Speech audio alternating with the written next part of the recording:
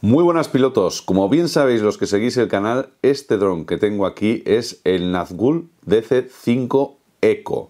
Un dron que salió la cosa pues de tres meses más o menos, que ha tenido muchas visitas por vuestra parte al vídeo de review, que os pongo aquí arriba el link por si no lo habéis visto, y con el que estoy súper contento. Yo creo que se puede decir tranquilamente que es el dron con mejor relación calidad-precio que hay en estos momentos en el mercado. Y lo he estado volando los últimos 3-4 meses súper a gusto. Va muy bien, es muy suave y muy predecible. Es un dronazo, la verdad. Y el precio que tiene lo hace súper interesante. Pero hay una pregunta que me habéis hecho muchos, tanto en redes sociales como en el mismo vídeo, en los comentarios, diciéndome, ¿cuánto corre ese dron? ¿Cuánto tiempo vuela ese dron? Bueno, pues hice algunas pruebas con lipos viejas, pero tampoco llegué, digamos, a unos valores que os podía dar claramente. ¿Qué es lo que he hecho? ¿Qué es lo que os presento en este vídeo? Bueno, pues utilizando este Nazgul 5 y utilizando estas baterías que acabo de comprar, son unas baterías nuevas de Obornik, ya sabéis que es una marca que utilizo mucho, pero estas en este caso son unas 6S 1500 mAh, pero 150C. Este 150C, el C, no soy técnico en tema de baterías, ni mucho menos, ni en electrónica, pero al final sería el equivalente a la potencia que nos puede dar esta batería explicado de forma sencilla. Tener en cuenta que las que utilizamos normalmente son de 100C, este tipo de baterías, las 6S, por ejemplo, o 120C a lo máximo. En este caso son 150C. Eh, no es una batería de las más caras, ni tampoco sea seguramente la mejor del mercado, ni mucho menos, pero igual que el dron, en cuanto a calidad-precio, es una batería que está muy bien. porque para que os hagáis una idea, las dos baterías que tengo yo, que son de 1500 6S 150C, cuestan 56 euros. Como veis también, igual que el dron, estamos hablando de un material bueno a un precio bastante ajustado. ¿Y qué es lo que he hecho? Pues los he juntado. He juntado este dron con estas baterías y he querido ver con esto qué velocidad máxima puede darnos el famoso Nazgul 5 Eco. A cuántos kilómetros por hora llega y por otro lado también cuánto tiempo puede volar. Y es el experimento que he hecho ahora.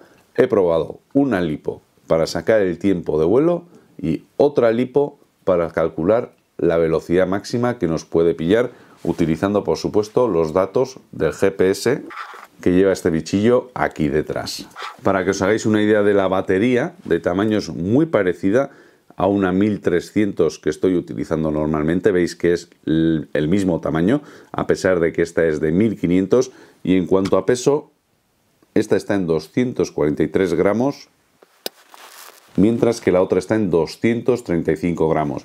Esto es apenas 7-8 gramitos más. No es una diferencia importante. Y los datos de recarga de la batería me han dado que, sí, que realmente podemos contar con 1550 miliamperios si le exprimimos a tope. Por supuesto que nunca vamos a llegar a esos 1550 por mantener sana la batería, pero es verdad que estamos hablando de una batería de 1550 miliamperios. Pues ya os he pegado la chapadita un poco de qué es lo que voy a hacer y manos a la obra.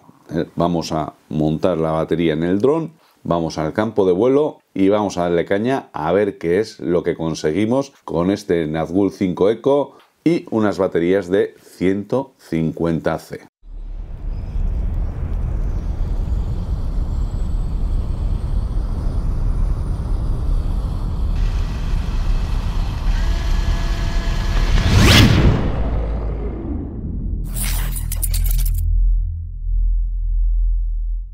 primera batería y vamos a probar primero a ver qué tiempo de vuelo podemos conseguir con 1500 mAh y este Nazgul 5 Eco.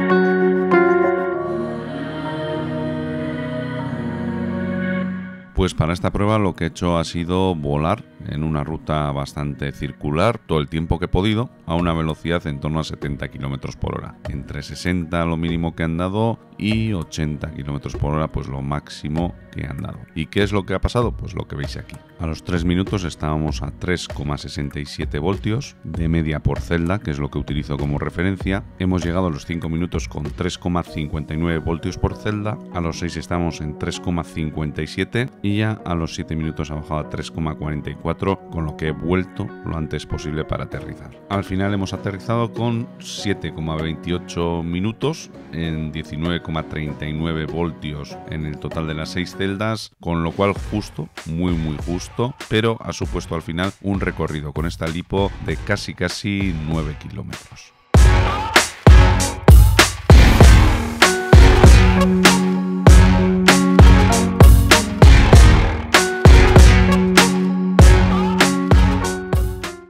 Después de la prueba de resistencia he inclinado a tope la cámara, veis la inclinación que le he puesto, y toca ver qué velocidad podemos pillar con el Nazgul 5 y estas baterías de 150C. A ver.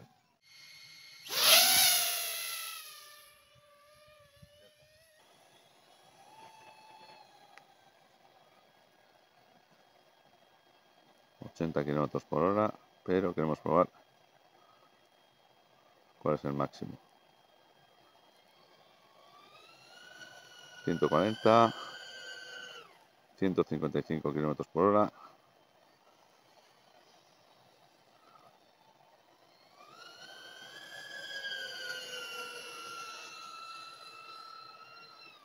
Ciento sesenta.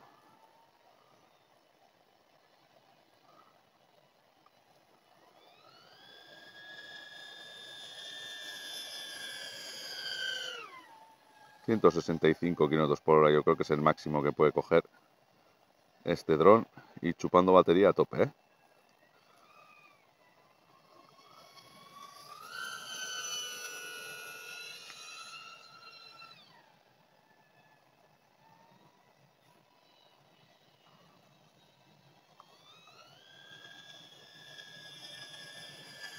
Va al 100% del throttle.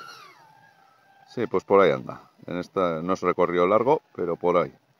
165 kilómetros por hora, no está mal. 100 ¿eh? millas por hora, no está mal. Eso sí, el gasto batería brutal. ¿Eh? En un pilotaje más normal, sin darle tanta caña, lo que pasa es que saca mogollón de ruido.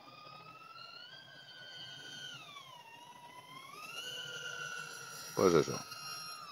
Ahí andamos. Más o menos es lo que me esperaba, ¿eh? igual podía, puede llegar a 170 en alguna circunstancia un poco especial, pero... Pero veis, que machacando a tope, por ahí andamos. Puede aterrizar y prueba superada, 100 millas por hora, ya las ha hecho el Nagu 5 totalmente de serie, ¿eh? lleva las hélices de serie y todo, que podíamos poner hélices con más paso y le dábamos más caña ¿eh? pero bueno, en principio con las hélices de serie, por ahí andamos.